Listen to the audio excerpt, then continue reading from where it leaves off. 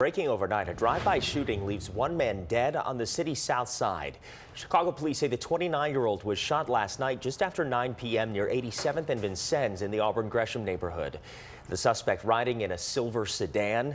The victim died shortly after police found him in the street. So far, no arrests have been made. Watch breaking news on YouTube. Subscribe to ABC7 Chicago Eyewitness News.